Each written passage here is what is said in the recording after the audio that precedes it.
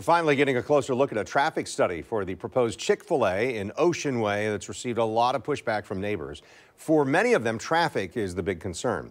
A developer wants to build the restaurant across from First Coast High School and use the front entrance of the North Creek subdivision as an access road.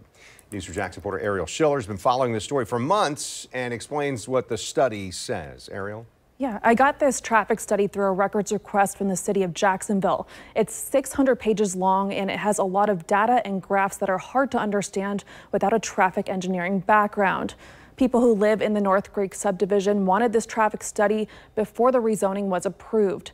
Many of the neighbors I've talked to are against a high volume business being built in that space. Nearly two months ago, the Land Use and Zoning Committee decided to order this traffic study before deciding on the rezoning that would allow for this Chick fil A to be built. The executive summary of the traffic study says that based on data from six Chick fil A locations in Jacksonville, the restaurant is projected to generate 294 trips during the AM peak hour, 468 trips during the midday peak hour, and 316 trips during the PM peak hour.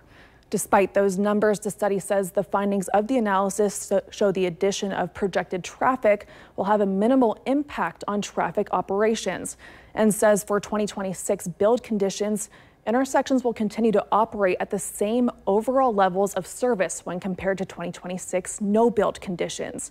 It also says both site driveways will operate satisfactorily during the AM and PM peak hours for both for 2026 build conditions. Back in February, Oceanway residents demonstrated what they believe traffic would look like if a new Chick-fil-A is built. It took about five minutes of doing that simulation before traffic started backing up to Lady Lake Road. The study also found a traffic signal was not needed at the intersection of Duval Station Road and Bradley Cove Road near First Coast High School. I'm trying to set up an interview with a city traffic engineer to explain this traffic study.